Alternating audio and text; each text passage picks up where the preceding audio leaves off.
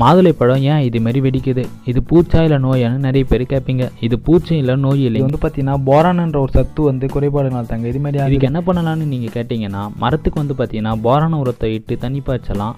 அப்படி இல்லைன்னா போரான உரங்களான boric acid இதுமாரியான உரங்களை வந்து நம்ம இலை வழியாக தெளிப்பதன் மூலமாகவும் இதை கட்டுப்படுத்துகிறாங்க நிறைய பேர் கேட்பீங்க நான் என் செடிக்கு வந்து நல்லா ஊட்டச்சத்து முறையாக கொடுத்துமே இதுமாரி ஆகுது அப்படின்னு கேட்டிங்கன்னா இது இன்னொரு காரணத்தினால ஆகுதுங்க. அது என்னன்னு பார்த்தீங்கன்னா டெம்பரேச்சர் ஃப்ளக்சுவேஷனுங்க அதாவது பார்த்தீங்கன்னா ஒரு நாள் ஃபுல்லாக அதிகமான வெயில் வந்து காஞ்சிட்டு இருக்கும் திடீர்னு வந்து பார்த்தீங்கன்னா மழை பெய்யும்.